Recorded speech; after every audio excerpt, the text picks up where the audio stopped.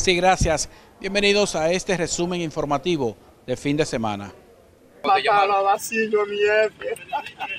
Guzmán Rodríguez cayó abatido a tiros cuando se disponía a recoger el periódico frente a su vivienda. El fiscal Osvaldo Bonilla, quien encabezó el levantamiento en la escena del crimen, tras lamentar lo ocurrido, informó, se llevan a cabo las pesquisas del lugar. Hemos visto ahora con la familia, hemos visto ahora en el levantamiento y simplemente decirle que iniciamos el proceso apenas de investigación y cuando tengamos algún dato importante que ofrecerle a ustedes como prensa y a la sociedad se lo estaremos dando. Yo creo que la Policía Nacional como el Ministerio Público tienen un gran reto para esclarecer esta, este, este hecho, porque de entrada yo le puedo decir que eso no es delincuencia común y corriente. Eh, y en esta calle donde sucedió, eh, sucedió este hecho, prácticamente hay cámaras en todos los lados. Es un abogado muy, muy, muy fuerte aquí, tú me entiendes, un abogado que, que lleva muchos casos y puede ser que algún enemigo le casó la vida. Se han hecho eh, numerosos levantamientos, rastreo eh, en toda la zona. El vocero de la policía en esta ciudad, Alejandro García Ramírez, detalló que los asesinos de Guzmán Rodríguez lograron impactarlo con cuatro balazos. Que en el lugar de la escena del crimen eh, se levantaron como evidencia también seis eh, casquillos calibre 9 milímetros eh, y un proyectil mutilado. ¿Qué pasó? ¿Qué fue lo que motivó para esta tragedia tan grande, de esta muerte de un jurista connotado y un jurista de alta fama a nivel nacional? Me ha dolido muchísimo y me duele.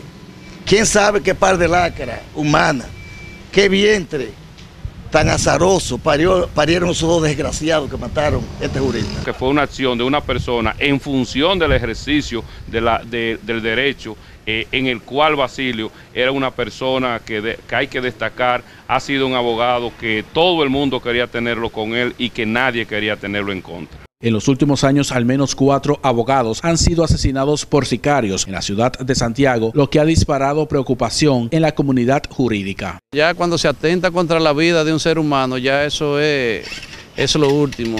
Y el bien más preciado que tiene el ser humano es la vida. Y eso estamos muy tristes y consternados por, esa, por ese hecho. No compartía la forma muchas veces de, de su actuación porque si bien es cierto que el abogado debe defender los intereses del cliente, pero siempre he dicho que la profesión de abogado es una profesión liberal. Significa que el abogado no está obligado a trabajarle a todas las personas que van a su oficina para solicitar un servicio. Para los togados, el acribillamiento de Guzmán a plena luz del día frente a su residencia merece una exhaustiva investigación que dé con los responsables del vil asesinato. Entonces hay muchas personas que hablan muchas cosas en contra de él, cuando en realidad lo que se puede decir de esa persona es que es una persona muy ducho en la materia, un civilista excelente. El licenciado Basilio Guzmán fue objeto de un atentado cuando vivía en la Sursa, que le prendieron fuego a la casa y logró salvarse él y la familia por una pronta intervención de los vecinos. Eh, yo me le acerqué y le dije eh, que tratara de ser más selectivo.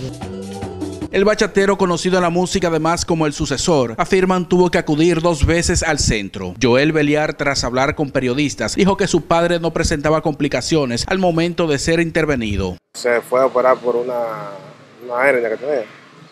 Entonces, hicieron la operación, hallamos que fue una mala práctica, volvió y se la hizo. Y ahí fue que, de ahí para acá fue que todo se complicó, que fue algo, estaba en cosas de abogado, porque fue algo directamente de la misma clínica, no fue, él llegó muy sano salud, había mucho análisis, muchas cosas que llegan bien, y él nunca sufrió de nada, ni una gripe, nada. Y, en la clínica explica le informaron que su padre murió tras contaminarse con una bacteria, versión que a los familiares no le convence. Para nosotros nos declaran otra cosa, dicen que fue un infarto, ¿sabes? Cosas de ellos mismos pero se agravó a causa de la bacteria. Por fue, por la bacteria, no fue por la operación que se hizo, nada de eso, eso no tuvo que ver con nada. El cadáver del bachatero está siendo velado en la funeraria Inavi, donde han acudido otras figuras del arte, entre ellas Manuela Josefa Cabrera, conocida como la vieja Fefita la Grande. En cada rincón de este país sucesor, pues que una persona que yo conocía de muchos años, una persona humilde, sencilla. Sabe que perdimos un hombre compositor, cantante, amigo, bueno de todo. Hay muchas cosas que hablar de él. Un aplauso pido para él porque eso es todo. Habla muchas cosas de él porque no, no le hizo daño a nadie. Memín fue y seguirá siendo lo más grande que parió la República Dominicana en cuanto a la bachata. Guitarrista, arreglista, compositor. Bien, de esta manera concluimos este resumen informativo. Hasta la próxima.